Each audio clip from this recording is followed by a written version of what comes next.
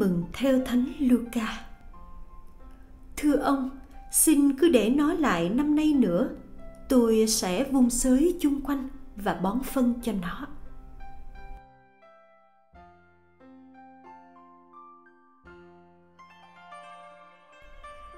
Hy vọng và chờ đợi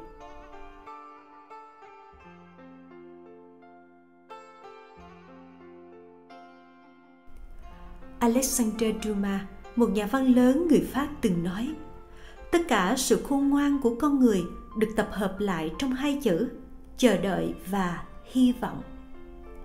Câu chuyện tin mừng kể về một ông chủ đã hai năm nay ra vườn để tìm trái vả mà không thấy.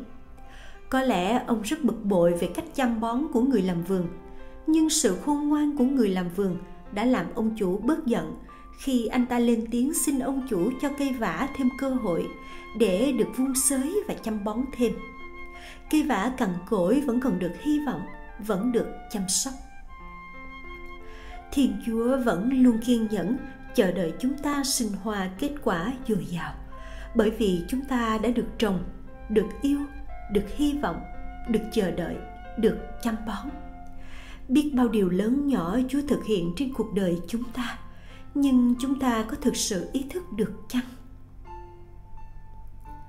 Lạy chúa, xin cho chúng con luôn biết sống trong tình yêu của ngài và làm cho tình yêu ấy đơm bông kết trái nơi cuộc sống trần thế của chúng con.